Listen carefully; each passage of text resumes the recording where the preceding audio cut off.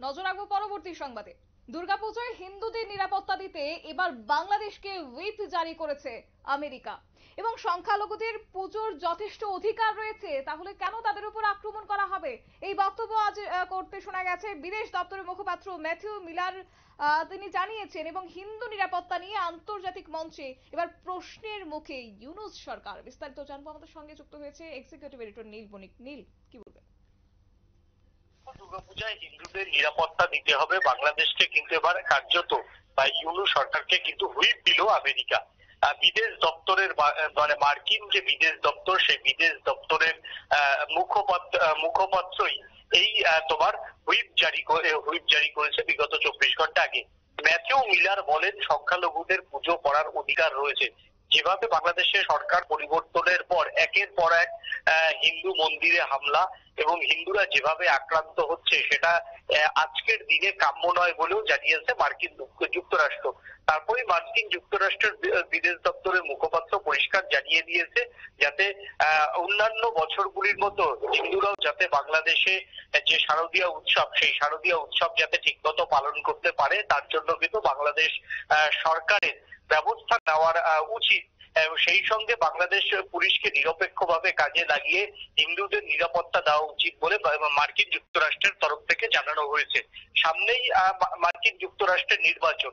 সেই নির্বাচনে যদি হিন্দুদের উপর অত্যাচার নিয়ে যদি মুখ না খোলে, তাহলে কিন্তু কমলা হ্যারিসের একটা বিপদ বাইডেনের একটা বিপদ আসতে পারে বলে কিন্তু আজ করেছে মার্কিন যুক্তরাষ্ট্র। সেই জায়গা থেকে মার্কিন যুক্তরাষ্ট্রে এবার টাইম স্কোয়ারের মতো জায়গাতে দুর্গাপূজা বা শারদীয় উৎসব হচ্ছে। সেই জন্যই তারা মনে করল যে হিন্দু ভোট যদি তাদের অনুকূলে না থেকে ডোনাল্ড ট্রাম্পের দিকে চলে যায়, এমনিতেই ইরানের বিরুদ্ধে সুর চড়িয়ে ডোনাল্ড ট্রাম্প কিন্তু আরও বেশি নির্বাচনী যে প্রচার, সেই প্রচার অনেকটা জমিয়ে দিয়েছে। এবং ইরানকে এখনই হামলা করা উচিত, ইসরায়েলের এই কথাও ডোনাল্ড ট্রাম্প বলেছে। সেই জায়গা থেকে ভারতের যে বৃহত্তর হিন্দু জনগোষ্ঠী মার্কিন ভোটার অনাবাসীরা ভোটার, সেই ভোটটাকে কিন্তু এবার নজরে রাখল মার্কিন প্রশাসন এমনটাই মনে করছেন রাজনৈতিক মহলের একাংশ। অন্যদিকে ইউনিশ সরকারকে যদি আন্তর্জাতিক মঞ্চে চাপ না দেওয়া হয়, তাহলে কিন্তু আমেরিকার সঙ্গে আগামী দিনে ভারতের দ্বিপাক্ষিক সম্পর্ক নিয়ে কিন্তু প্রশ্ন উঠতে পারে। বেশি করে রাশিয়া ঘনিষ্ঠ হতে পারে। সেই জন্যই এটা সুকৌশলে মার্কিন যুক্তরাষ্ট্র এক ঢিলে কার্যত দুই পাখি বাড়ার চেষ্টা করল বলে মনে করছে রাজনৈ- রাজনৈতিক দলের একাংশ। অর্থাৎ হিন্দু নির্যাতন নিয়ে একদিকে মুখ খুলে অনাবাসী হিন্দু ভোটারদের ভোট কনফার্ম করা। অন্যদিকে হচ্ছে ভারতকে, ভারত যাতে ভারত যাতে আরও কাছাকাছি রাশিয়ার ইস্যুতে না যায়, বাংলাদেশ ইস্যুতে না যায় তার জন্য রাশিয়াকে নিয়ে ভারত যাতে এশিয়াতে আবার কোন রকম অন্য একটা বলয় তৈরি করতে না পারে, সেই জন্যই কিন্তু হিন্দু ইস্যুতে কার্যত মুখ খুলল আমেরিকা এবং ঢাকায় বসবাসকারী যে সকল হিন্দুরা রয়েছেন, তারা যদি আমেরিকার উপর রুষ্ট হয়, তাহলে কিন্তু ভারত সরকার আমেরিকাকে থেকে দূরত্ব বাড়াবে, এটা ভালোই বোঝেন মার্কিন মার্কিন যুক্তরাষ্ট্রের কর্তারা।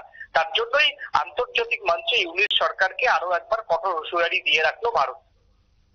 ধন্যবাদ। বিস্তারিত বিষয় তুলে ধরল আমাদের এক্সিকিউটিভ এডিটর নির্বণিক এবং দুর্গাপুজোর প্রাকালে বাংলাদেশের অন্তর্বর্তী সরকারকে এবার বার্তা দিয়েছে আমেরিকা, যেখানে বসবাসকারী সংখ্যালঘুদের। এবার হিন্দুদের অধিকার যেন রক্ষা করা হয়, সেই বার্তা দিয়ে আজ আমেরিকা এক প্রকার ইউনুস সরকারকে প্রশ্নের মুখে ফেলে দিয়েছে। দিচ্ছে ছোট একটি বিজ্ঞাপন, বিরতির সঙ্গে থাকুন।